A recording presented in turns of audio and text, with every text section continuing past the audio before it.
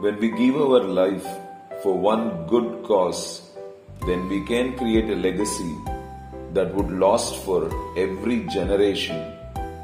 And that legacy would keep inspiring every generation to do good deeds. Let me narrate you this through the life of Mother Teresa.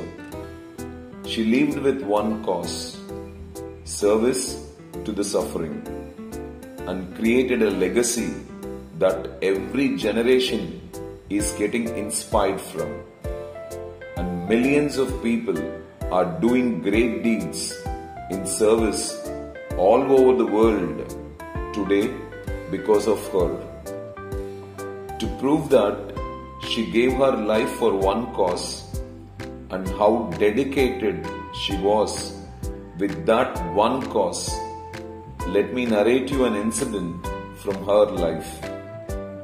It was the time when Rakesh Sharma traveled into space in Soyuz T11 on 3rd April 1984. During that time, Indira Gandhi was the Prime Minister.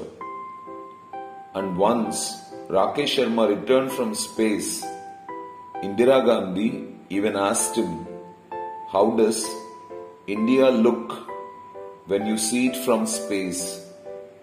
He replied, Sare Jahan se Acha, which means better than the rest.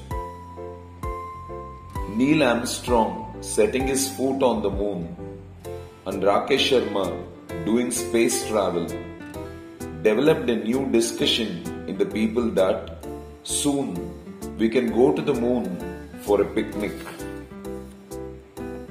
As moon has a very prominent role in our life, it would be the greatest moment for all going to moon for a picnic. During that time, a reporter asked the mother,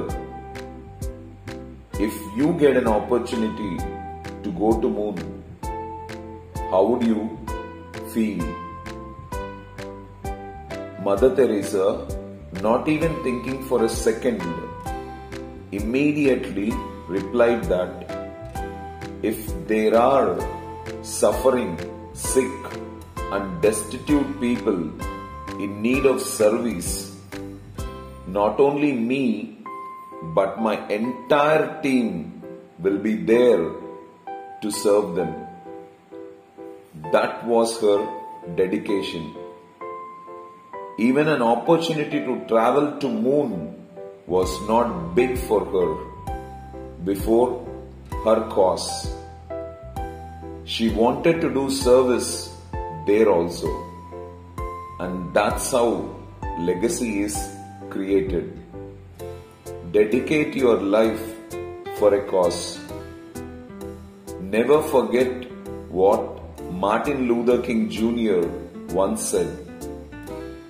If you have not discovered something you die for, you're not fit to live. Every day, in every way, life is getting better and better. Don't miss to be a part of Venu's Skill Training Academy as you can't miss life.